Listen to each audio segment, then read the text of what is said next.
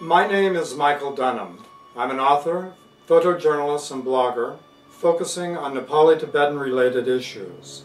I'm the author of Buddha's Warriors, the history of the Chinese invasion of Tibet in the 1950s, and the resultant assistance given to the freedom fighters by the CIA.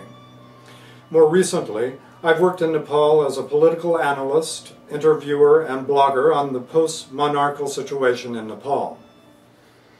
Three years ago, I began a project in which I went to the Tibetan refugee camps in Nepal and distributed 10 digital cameras.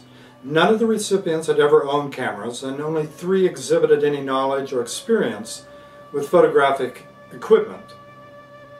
The idea behind my project was to produce a photography book that documented the life of Tibetan refugees, and most important, that was produced by the Tibetan refugees themselves. Why did I think that this perspective was important? After 20 years of close association with the refugee community, I can say without hesitation that except for the infirm and elderly, who are too feeble to move, I do not know of one Tibetan stranded in Nepal who would remain in Nepal if he or she were given the opportunity to move elsewhere. Tibetans don't want to be in Nepal.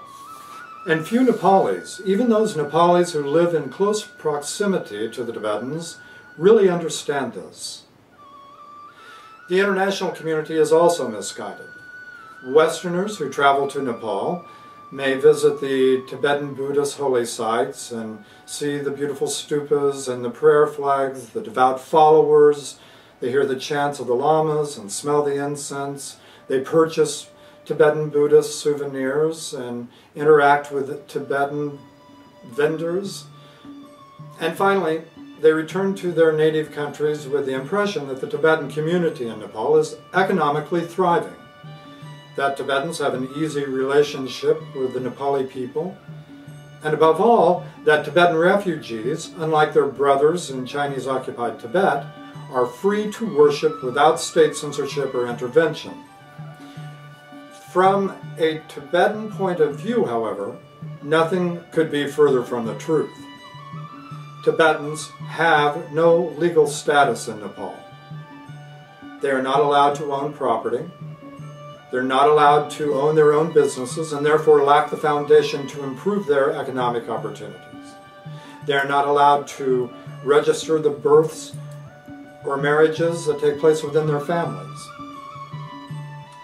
In short, they're stuck.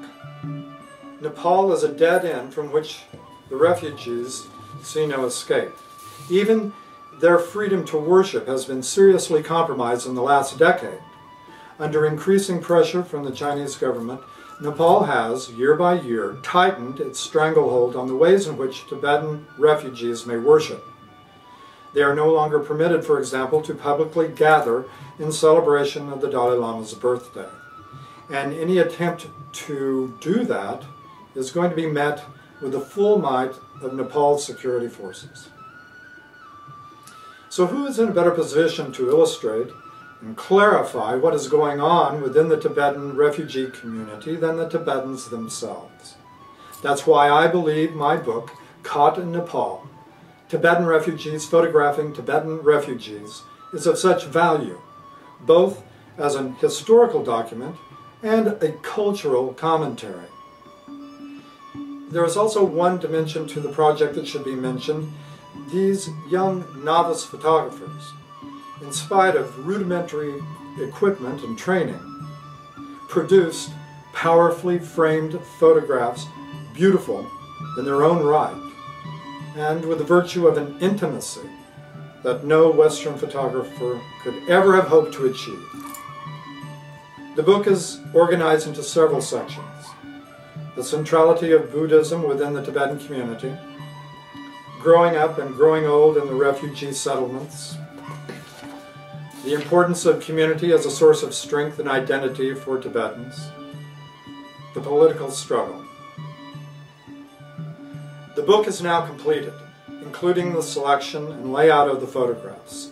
The text, which I wrote, focuses on the history of Nepali-Tibetan relationship, beginning 2,000 years ago up to the present time, and tries to explain why the political and spiritual lockdown that the Tibetans are in today keep them stranded in Nepal. The publisher, based in Kathmandu, is ready to go to press. The only missing piece of this puzzle is the printer's cost. For that, we need $6,000. If we meet that goal here on Kickstarter.com, the book will be available to the public as early as October of this year. I hope that you will join me in my effort to publish what I and my Tibetan associates regard as a unique historical document of the Tibetan refugee situation and their ongoing struggle to achieve even a fraction of the freedom that we Westerners take for granted. Please join us. Thank you.